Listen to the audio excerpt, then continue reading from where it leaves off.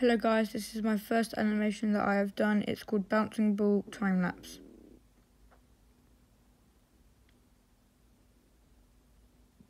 I hope you guys like it.